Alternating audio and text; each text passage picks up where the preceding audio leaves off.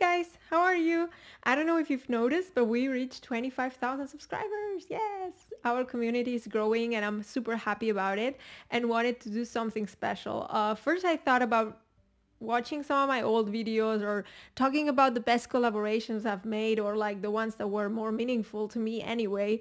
Um, but yeah, I didn't, I don't know. I felt like doing something a little bit more creative and just something new. I don't know if you guys watched the video with Jonathan at his channel, but we used the spinning wheel to decide the language that was coming next.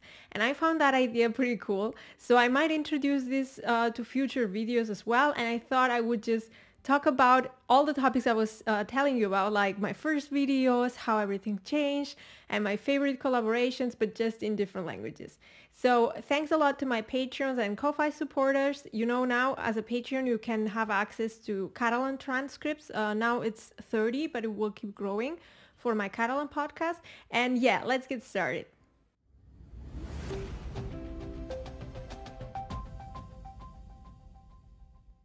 So I'm gonna spin the wheel. And the language that came was Italian.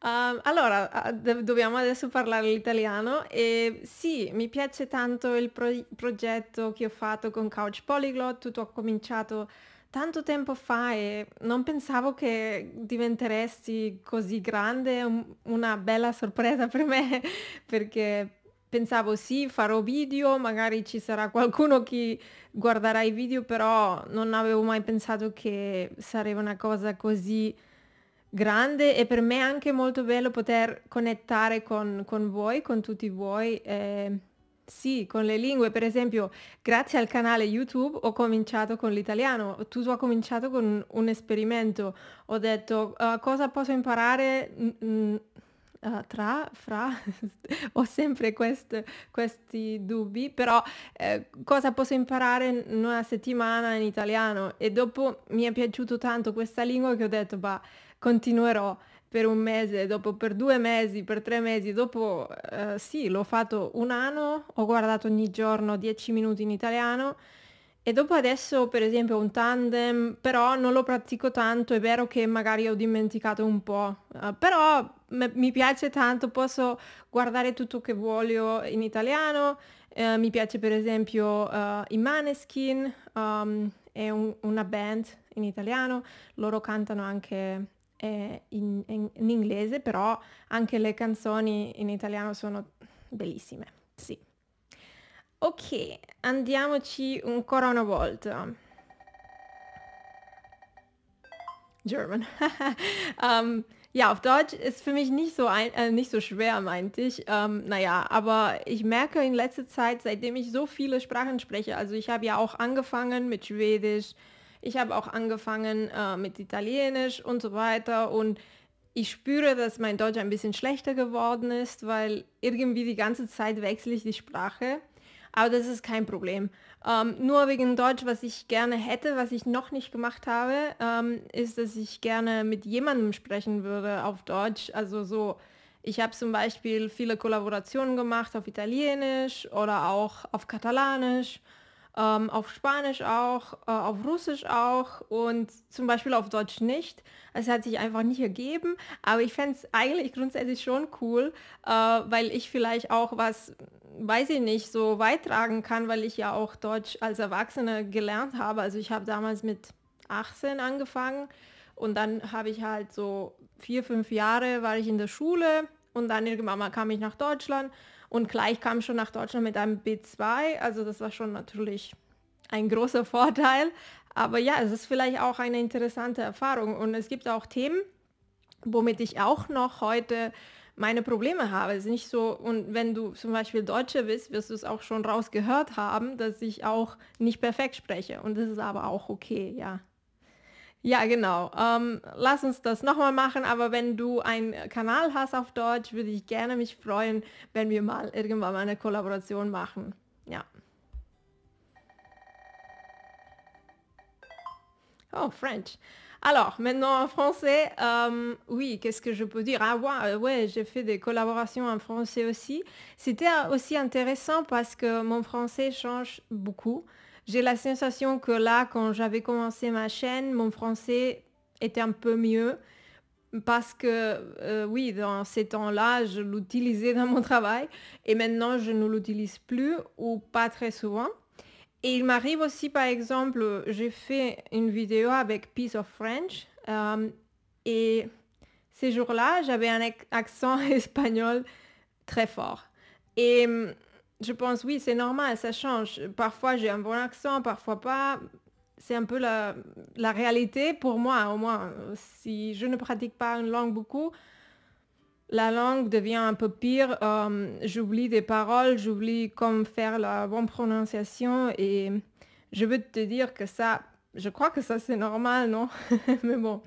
Et oui, j'aime euh, le français, j'écoute de la musique en français souvent, mais j'ai pas une routine euh, tous les jours, j'ai pas une routine tous les semaines, mais je crois parce que j'aime la langue, euh, j'y suis en contact quand même, même si j'ai pas une routine ou quelque chose comme ça. Alors, on y va.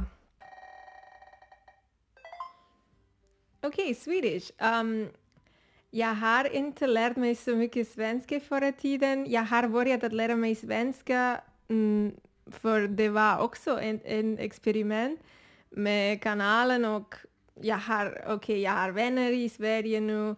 Uh, jag, jag pratar med folk på svenska lite på texten. Eller jag har också pratat med, med Oskar av ehm, um, Let's Svenska med Oskar eller av Fredrik av, av, av Simple Swedish. Och det var kul cool att jag har lärt mig svenska och jag har lärt känna uh, dem till exempel. Det var dörren för mig, eller en dörr för mig att lära känna nya människor. Och jag vet att folk tror att svenska är jag vet inte varför du lär dig svenska för du bor inte i Sverige och du behöver inte lära dig svenska för um, uh, svenska människor pratar alla så bra på engelska men för mig är det bara så att jag har haft uh, möjlighet att lära känna människor, att, att lyssna på musik och förstå musik på svenska. Det är väldigt stort för mig.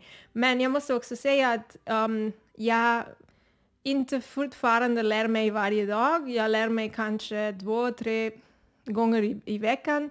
Det, jag har inte så stor struktur längre. Förut har jag lärt mig varje dag tio minuter men just nu gör, det, gör, gör jag det inte längre, men jag gillar jättemycket poddar och när jag ser att det finns ett nytt avsnitt så lyssnar jag och jag tror att jag ska inte glömma så mycket, jag hoppas i alla fall. ja.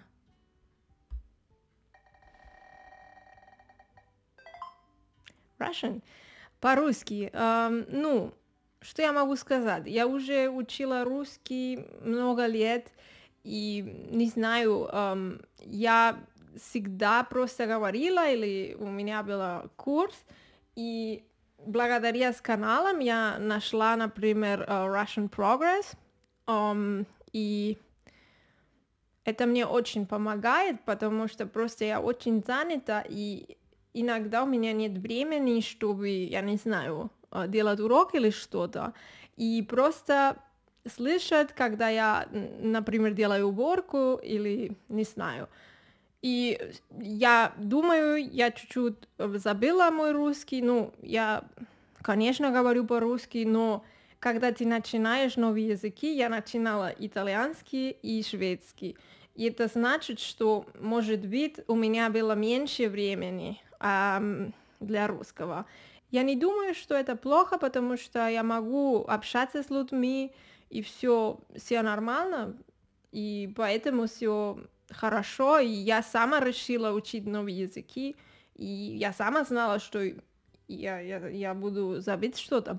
Но все равно, например, я говорила с Стив Кауфман по-русски, это было интересно, мы говорили на 7 языков. Он, я не знаю, как много языков он говорит, это даже очень-очень вау. я, эм, я не знаю по-русски, но я, у меня большая admiration.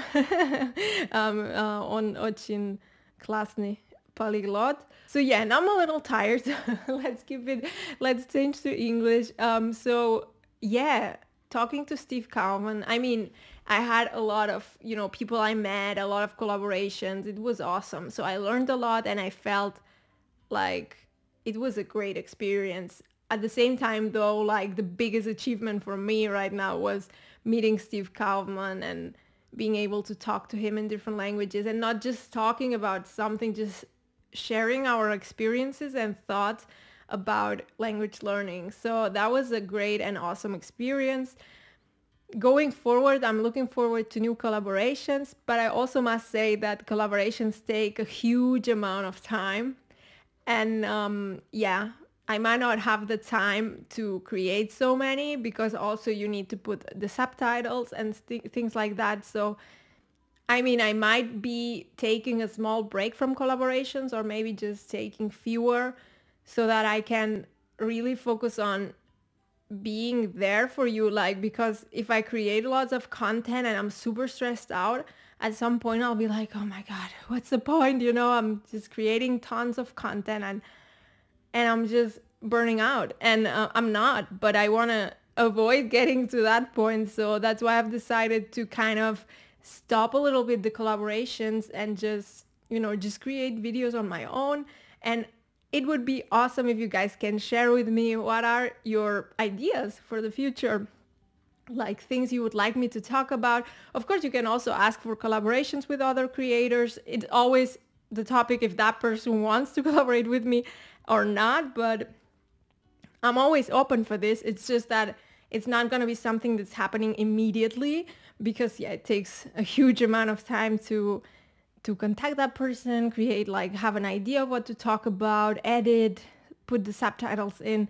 It's normally like huge conversations which I don't want to cut because they were interesting. So I'm not like cutting them. So then it just takes forever with everything like editing and subtitles. So that's why. Yeah. Well, anyway, thank you very much to all of you who support me. If you want to help me out, you can share this content like this video or maybe other videos. And yeah, you can of, of course also become a patron or support me on Ko-Fi or simply just leave a comment, leave a like and yeah. I'm looking forward to the next 25,000 hopefully. okay, bye.